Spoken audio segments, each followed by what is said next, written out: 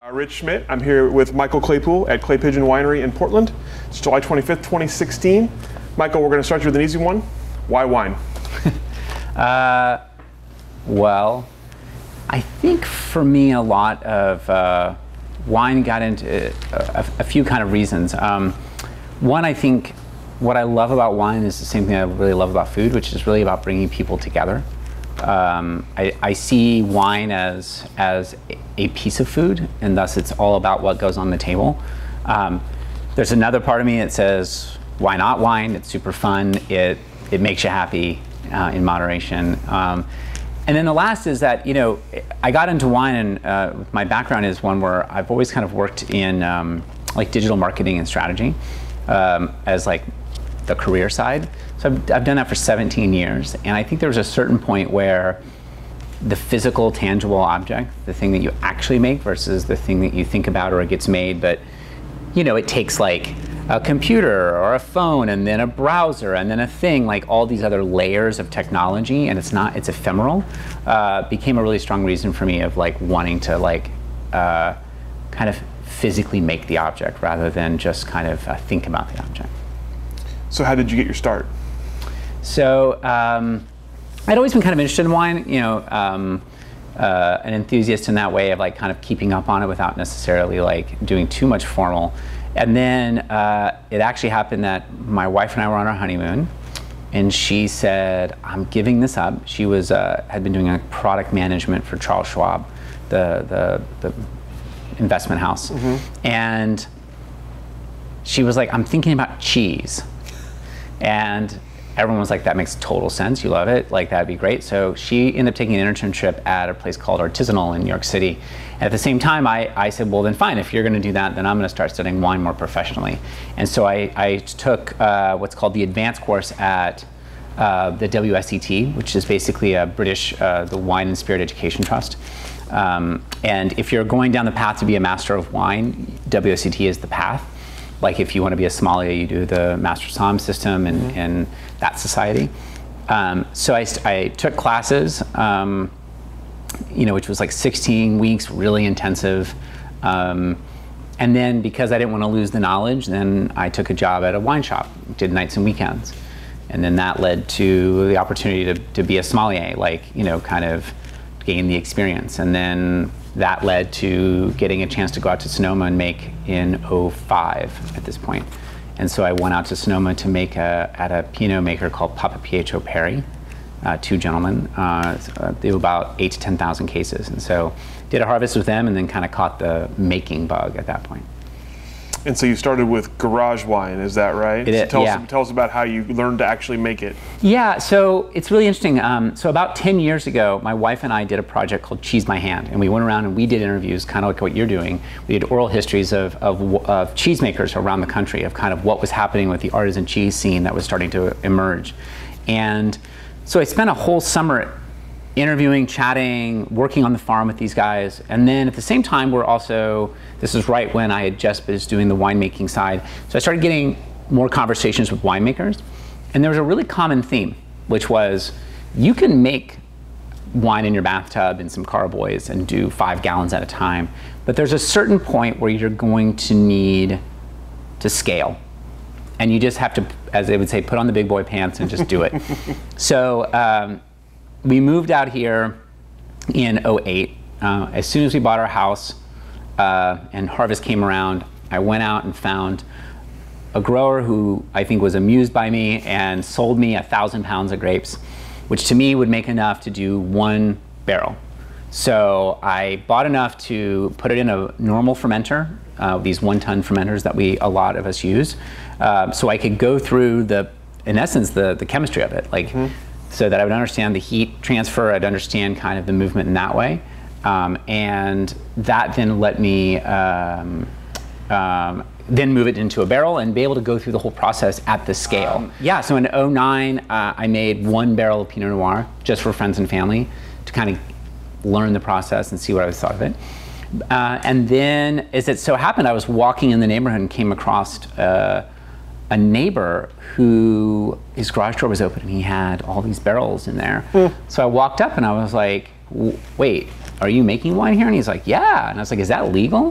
And he's like, yeah, it's totally legal in Oregon. And I was like, oh wow, because in California and New York, it's not legal Oh, okay. to have a residential making commercial. Interesting. And so uh, he's like, yeah, yeah, yeah, you just got to do this, this, and this. And so I um, thought about it for a while. 2010 came along, made another barrel. And then by 2011 decided, all right, let's do this. And so I converted our house garage into our winery. So that was our first location of Clay Pigeon was uh, a two-car garage, and we made three barrels of wine. um, and that was it. And the idea was very slowly we'll just make in the garage and slowly build up. Um, but then we found this space uh, soon after and decided to, uh, to, to, to lease it. And so once we did that, then I had to scale pretty quickly to kind of justify the space. Sure, sure. yeah. So you, you, took an interesting path. We don't we don't talk to a lot of people who were sommeliers first Yeah. before they started making wine. So tell us about that and how that helped you with your kind of future endeavor. Yeah, I, to me, it, I think in some ways, like, look, there, yeah, you listen to a lot of folks. They started because they wanted, they really just wanted to be with the land. They wanted to like, they were super into the make process. They they're into systems. For me, like, again, I, I'm so excited that I came in from this other angle because it really, I think, one um, has, has allowed me the ability to kind of contextualize what it is that we all do and how we, why, the decisions we make, but also like the styles that we can ultimately make. Um, you know, I, I think it's really interesting when I, and, and it's not really a, a criticism necessarily, but I always find it fascinating when I talk to like a winemaker and I'll mention like, oh, this wine or this wine region, and they don't really know what that is.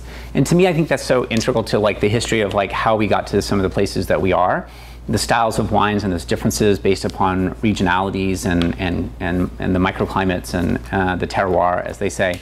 And so. Uh, I found that to be really invaluable, but I also think it also just gave me a, a, a very specific point of view, which is that wine is food.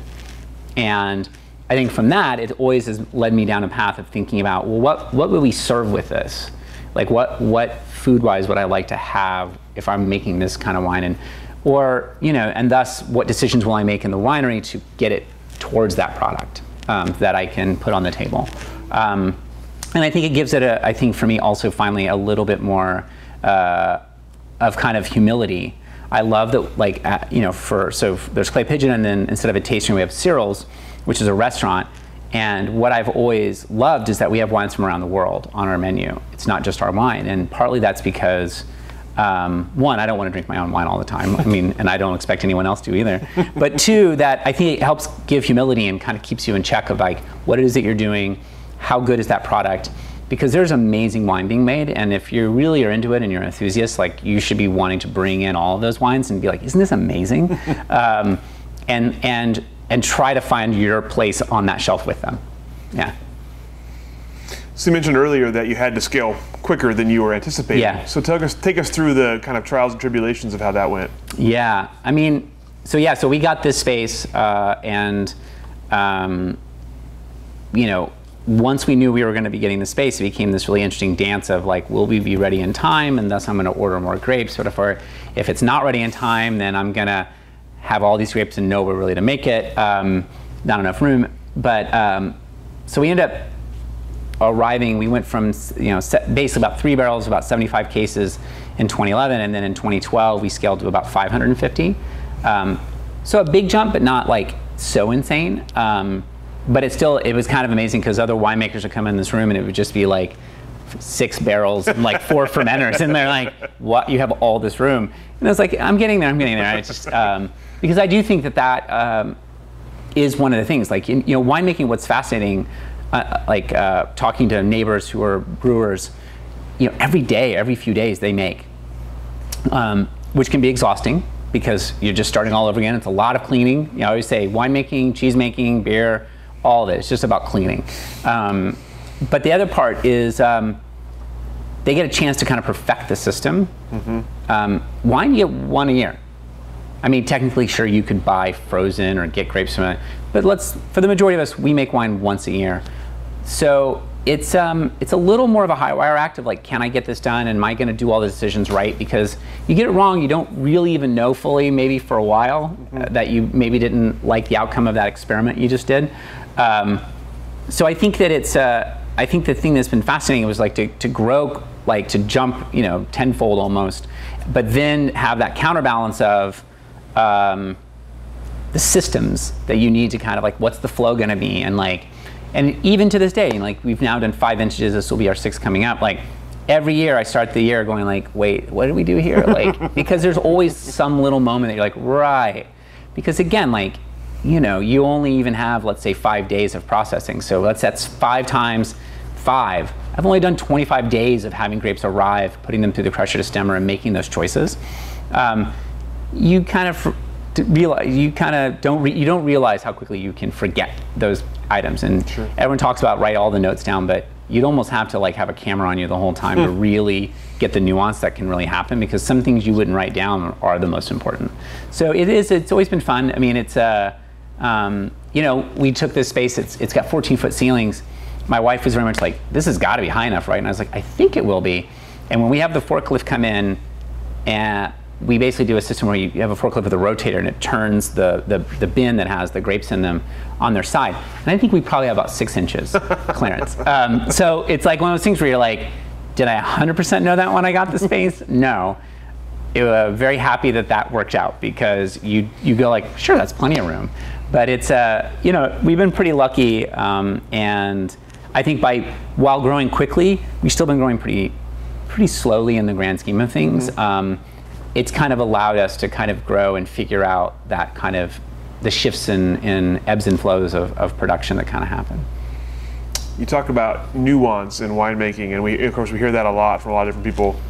How long did it take you to feel comfortable making some of those nuanced decisions? Uh, yeah, it's interesting. Like I, I, would say, definitely say the first time, even starting in like 09, just for for us, um, it was kind of like, okay, I'm only, I'm not.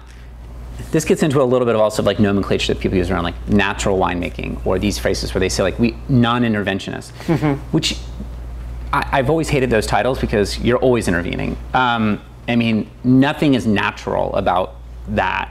Putting wine in a barrel and you know pushing out into a bottle and all of this. So so if I start from that, I say like, well, the trick is reduce the number of inputs the first time, see what you get, mm-hmm. and then next year you kind of and you start to kind of just make little. But I would say pretty quickly, you know, I, am a big fan. I always obviously I, I, use the lab a lot to get like readings to get a sense of like where the wines are, like what the pH is versus the potassium level, all these different things. But I got to say honestly, I rely much more on the gut to say like, I feel like this is going to be okay, and go ahead and, and going for it um, rather than making wine by the numbers. Because again, I think this goes back to the, the why. Um, I didn't get into it because I'm, I'm really a geeky science guy who loves like chemistry. Um, I love chemistry, but I, I, bluntly was okay at it. Like, um, but I think I'm much better in the sense of like intuitively like tasting something and understanding its relationship. Um, and it was the part of the job as a sommelier I really did love the most, which was um, having a dish come out and trying to figure out what I should pair with that and how to pull out and tease apart those components. So I, I rely a lot more on like the gut to be like, where do I think this wine's going to go? And I think the years of doing it, and I look forward to you know 10 more years, 15 more years under my belt to feel a lot more confident. Like, oh yeah, I've ta- that that is going to go this direction. Where at first you're like, I, I don't know what this is going to turn out in six months or a year from now. Um, and I think that's what you gain over time. Is every year you get a little bit more confident that you can see the arc of where the, the wine's going to mm-hmm. go um, and start to make some decisions or decide to leave it alone. You know, rather, you know, like, oh, you know, do I, you know, in, although nowadays it's hard to believe it, but, you know, there was a long period where adding sugar to Pinot Noir was a very, it's an accepted trade in, in Oregon, like Burgundy, to help beef up the levels because it was always cold and rainy. That's not really the case anymore, but for the longest time, like people would do that. And so it became a question of like, do you want to add sugar? Which is kind of messing with it a little bit, mm-hmm. if you will, although it's historically been done for generations? Or do you leave it alone and then accept that you might have a thinner, lighter, lower alcohol wine? And you see all of those. And I think the more you taste and the more you're out there in the world and you're trying from different regions, the more you kind of go like, oh, this kind of falls into a more Germanic um, Pinot Noir where it's at 9 to 10% alcohol versus a California or a Burgundy. Sure. Yeah when you're getting started and you start in your garage and then you, you, you, come into this space, Did you did you ever consider not being an urban winery? Did you ever consider going Sure. out and being rural, more rural? Yeah, what- I, what- I mean, I think honestly, like when we moved out here, it was very intentional to move out here so I could start making wine, um, you know, with a little bit more focus. And but I, I just assumed, of course, that we'd move to Portland, but eventually I'd have to move down, or at least commute down to the valley, and you know, to make or apprentice or do all those things. And uh, I think you know, the first year we were getting our feet under us, figuring out the city and everything. That's when we started kind of reading about and hearing about some of these uh, urban wineries. And so by the time it rolled around for us to open, yeah, it, it, it, it was like, well, we could go down there. But I also think we, we were very lucky, and I would say all of us up until probably the last like year or so have been lucky that there's property in, in Portland, especially for this tile of industry space, isn't so bad. Um, it's still cheaper in the valley, but then you have to offset either having to commute and the gas of that or completely move the family and all those things. So I think it's um, I think that's changing and will get harder and harder every year for a new winery to move in and have decent rents that they could uh, be able to keep it somewhat um, on par with what's happening in the valley. Um, but I do think that ultimately, you know, what urban allows you is the ability to start to grow and become like a massive winery. No one's really done that. It, it's, I'm not saying it can't be done. I just think like this goes back into the equation of, of the math of buying a building and the rent and, and how much space do you really need. Uh, so I think it's, uh, yeah, I, I think for me it was always, of course I'm gonna have to move down there and then realizing, you know, people like Hip Chicks uh, on Southeast, they had been here since 02 and showing like, no, you can do it here, find a cool space and like make a go of it. So what are some of the differences you see between the urban wineries and the more rural wineries as a as kind of a group?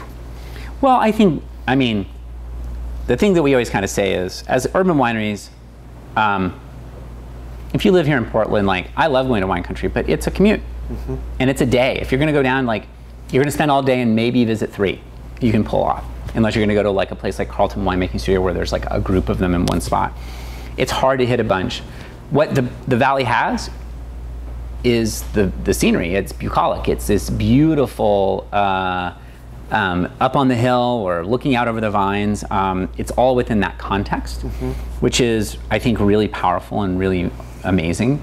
Um, I always say, like, for Portland, I think what we always talk about is like, we like to hang out with each other.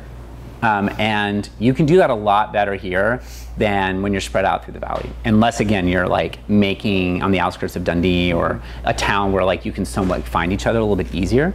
Like on the whole, it's a little more isolating. And so like you have your space. And so I think like what I love about it is the community um, and that, you know, we live here. Like we're, we didn't, we like Portland. We don't want to leave Portland. We want to be a part of this community. Um, and, and to show that you don't have to travel. Well, you know, as we always say, we'll let the grapes travel for you. Like we'll bring the grapes rather than you having to go to the grapes. But yeah.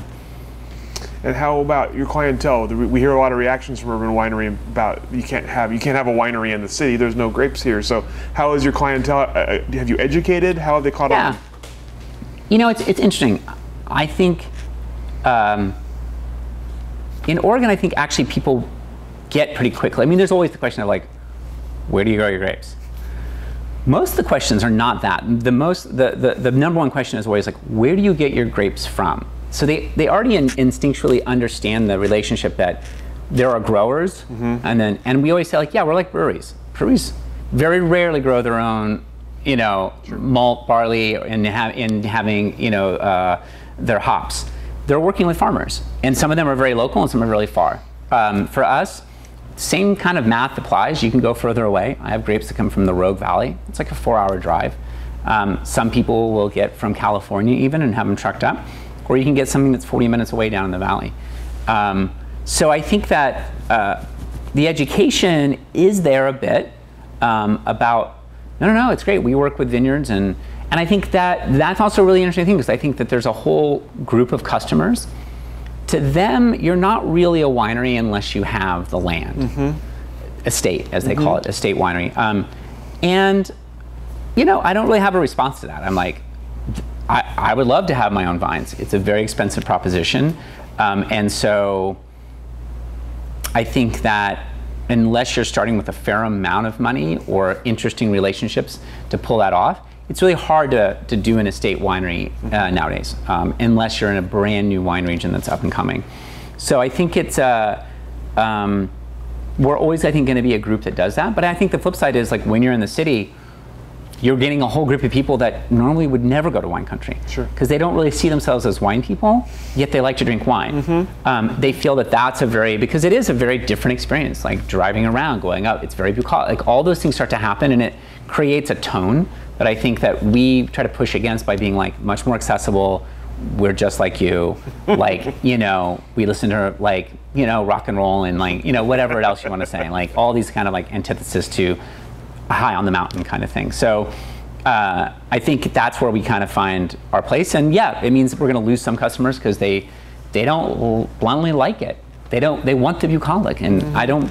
I mean, look, if you're coming in from out of town and you're visiting, I get that. I totally get that. Um, you want to see really what the land looks like, because ultimately, for all of us, whether you're growing the grapes yourself or you're buying them, it all goes back to the grapes. So Sure. if you don't have any relationship to that, then then this is a bit problematic if you just think like they just magically show up someday you know because that does happen people say like they don't really understand when harvest is. They just assume like breweries they think you can make anytime you mm-hmm. want. And it's like technically that's somewhat true but not really. People mm-hmm. don't really do that.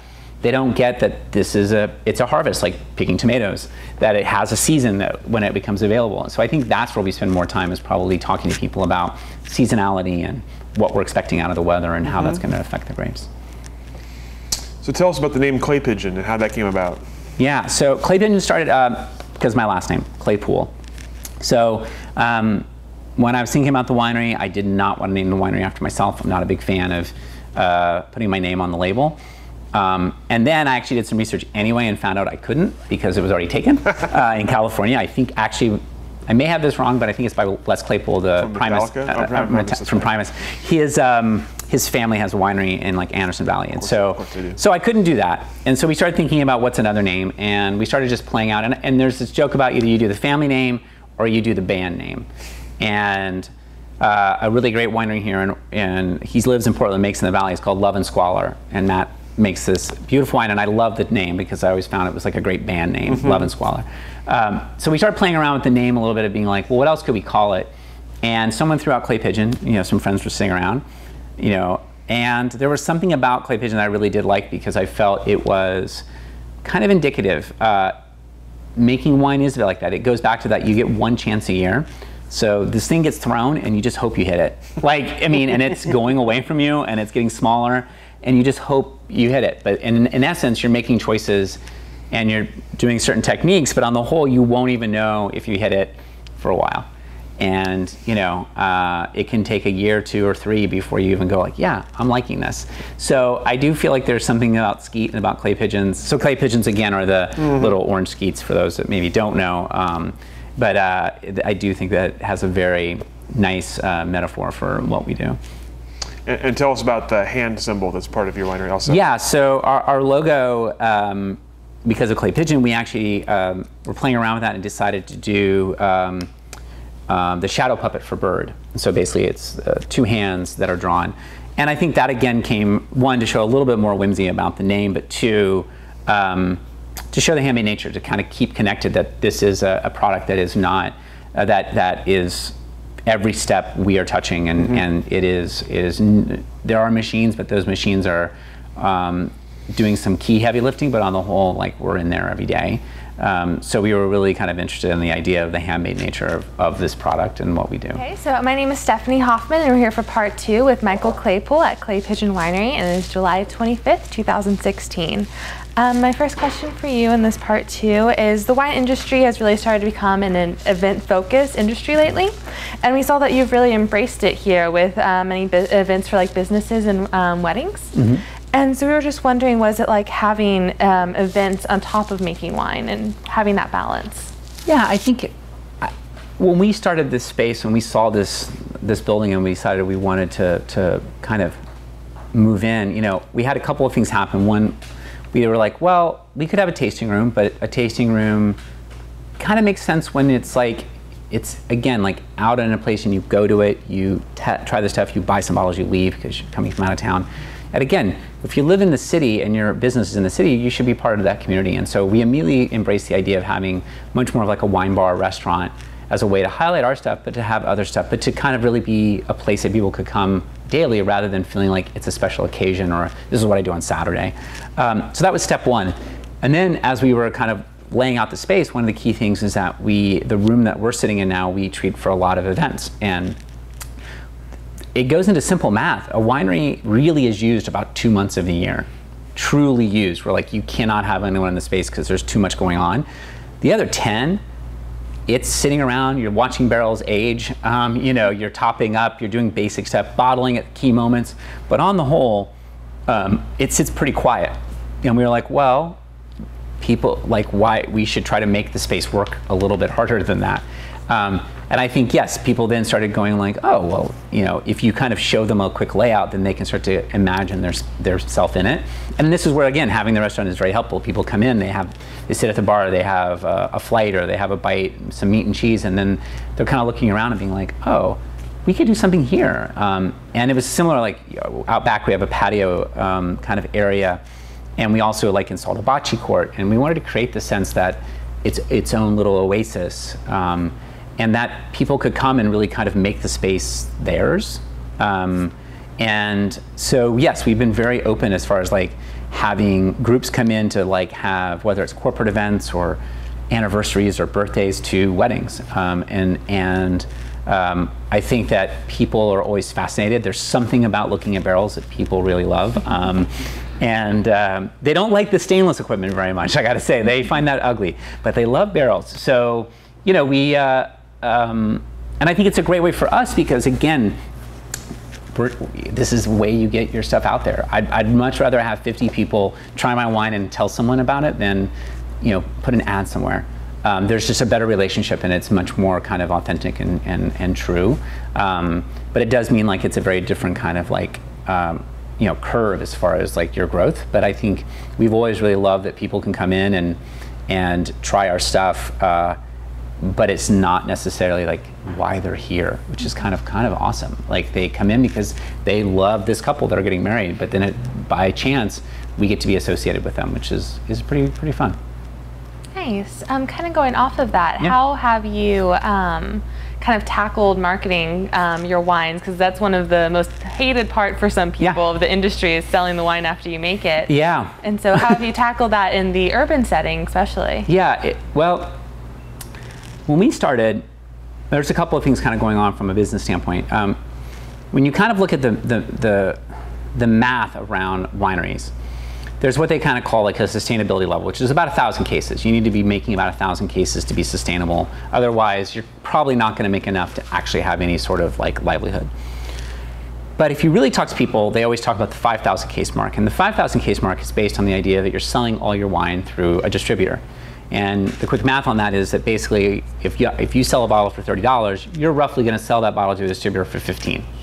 Um, so you do the volume to make up the loss in profit. Um, our idea when we started thinking about the urban setup was could we create a space, a wine bar, restaurant, whatever you want to call it, but a space that basically is open for X number of nights that we can sell not just at retail but at restaurant price. Then sell some through distributor, but through that mix, not have to go to 5,000 cases, could we hover closer to like two or 2,500? Um, and so that's been kind of the business plan we've kind of followed and we're growing to. We're not there yet because we've been taking our time getting there. Um, we sell 99% of our wine through the front door, um, either through the restaurant directly um, or through wine club or events. Um, and partly that's just been a volume game, honestly. Like we just haven't, while we've been growing, we just haven't made enough wine. We've sold out of everything as we go. Soon we'll reach a point where we're going to have more volume than we have um, demand coming through that front door. So we're going to need to go to a a larger kind of uh, venue, and that's where we'll probably look to distributors to help us with that. Um, first, probably within Oregon, and then have conversations outside as as we kind of diversify the portfolio. But um, so far, I've been very lucky on the sales side. I haven't had to, I agree, the selling of it can be a little daunting. Um, and so I've been very lucky in the sense that you know we have a, a good a good crew working over here that that are in, uh, passionate about our product, and so they help us sell it every day. Good. Um, what is your favorite part of the wine industry?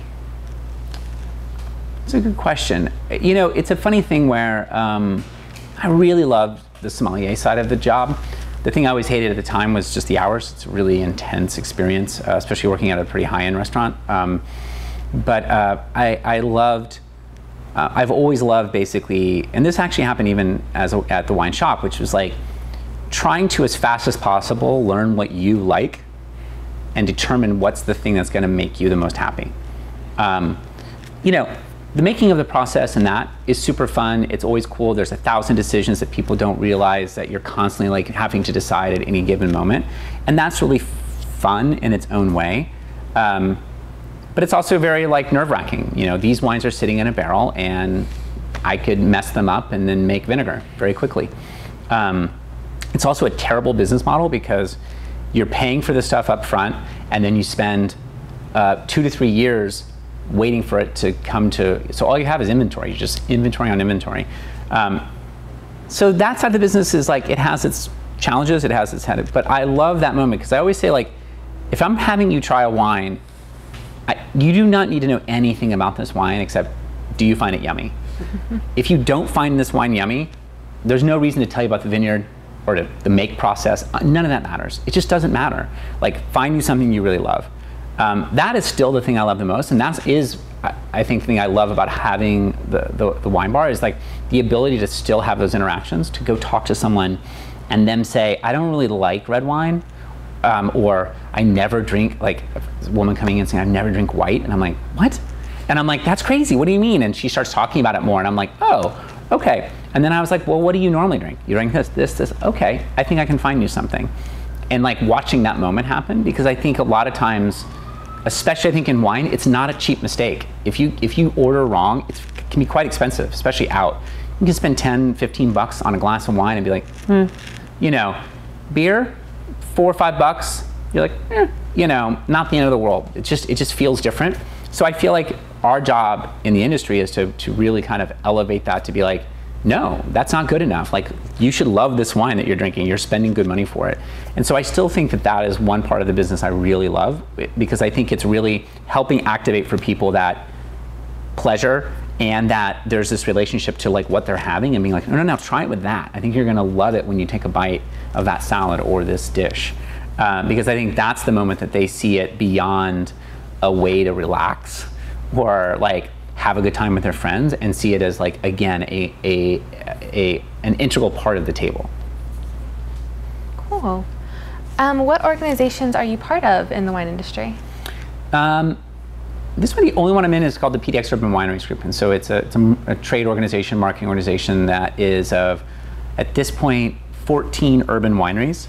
So um, we um, help promote each other, the industry that obviously urban wine is a legitimate thing and you should be checking it out. Uh, and we end up holding about three events a year. But largely it's also a great opportunity, you know, to have access to other winemakers to talk through issues you might have, like could I borrow X to whatever it might be. Um, those things are still like a, a key part of it.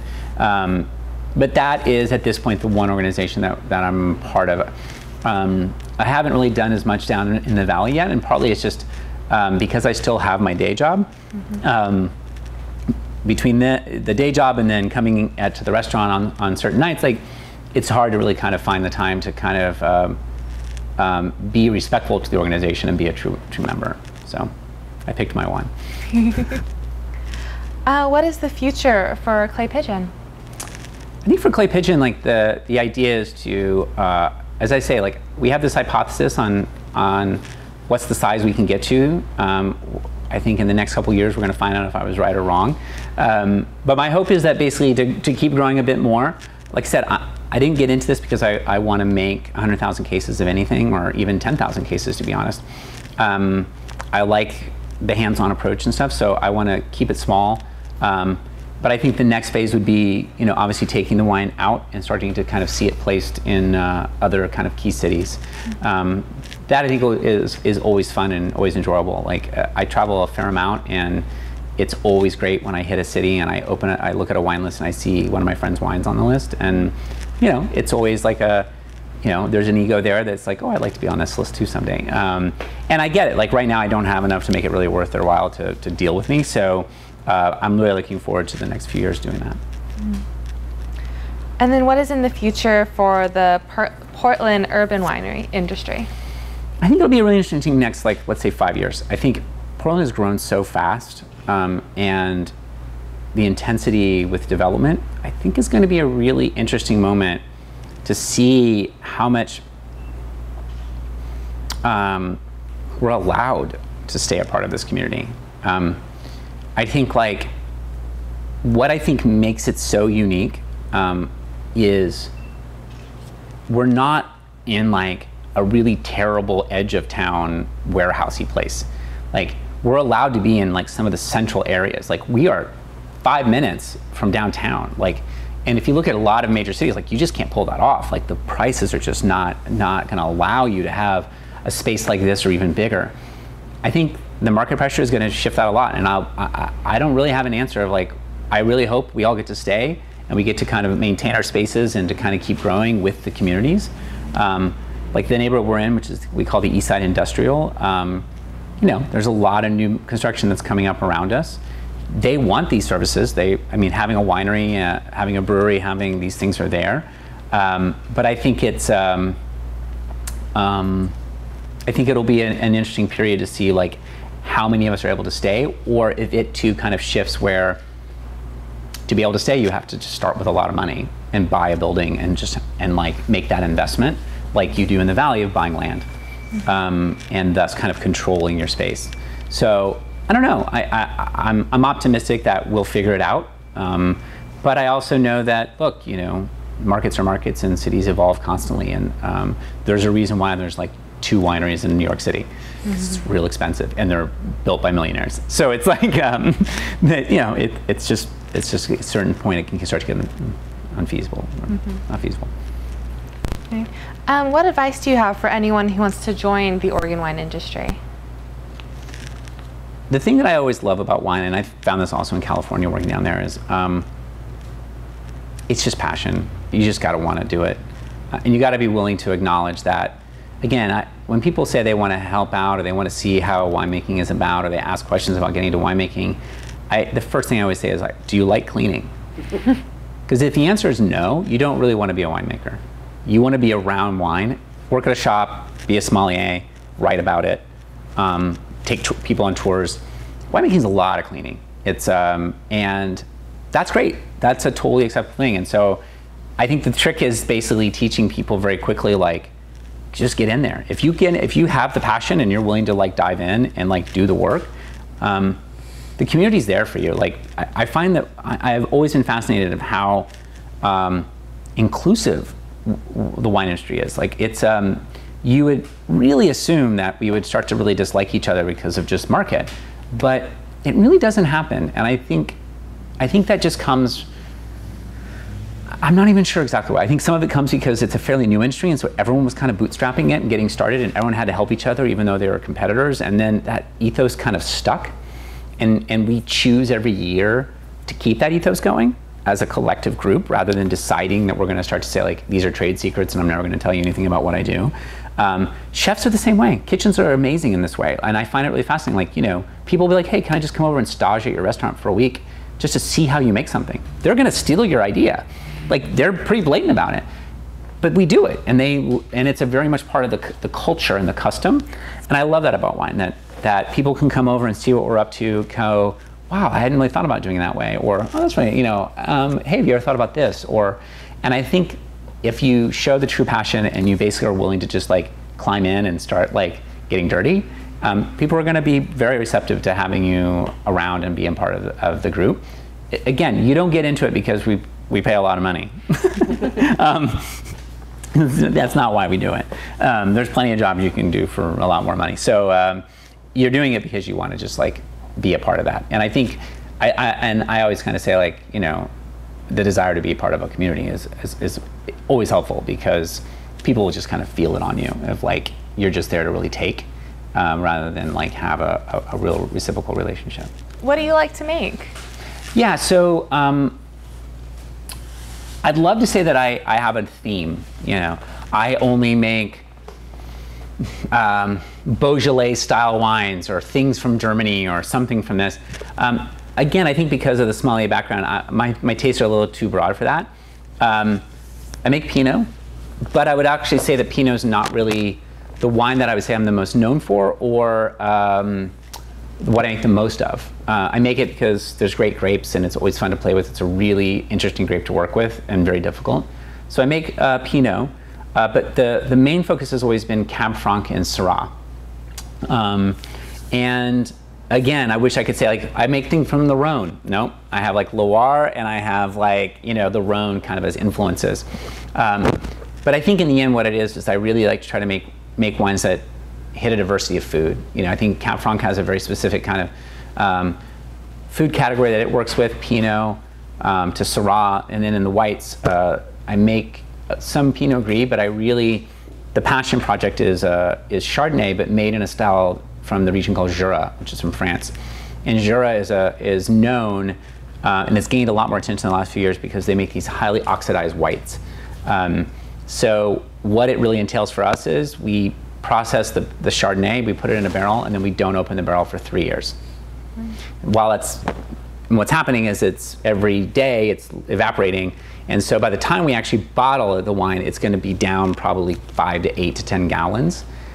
And what's happening slowly is that it's it's it's turning to vinegar slowly, but because it's a controlled amount of oxygen, it becomes um, more like a light sherry. Um, it becomes highly oxidized, and like nutty aromas start to come through. It gets really golden. Um, it's a style of wine that I love, and I love it with food. And I, I got introduced uh, from the sommelier side. Um, so I've been experimenting with that uh, a bit more, which is always kind of fun. Though again, it takes forever. You know, so three years. Then you bottle it, and you wait maybe another year. So this, I'll, I'll, never see it. You know, before it's done. But uh, yeah, uh, that's the kind of the stuff we like to make here. Awesome. Good. Okay. Well, thank you so thank much. Thank you.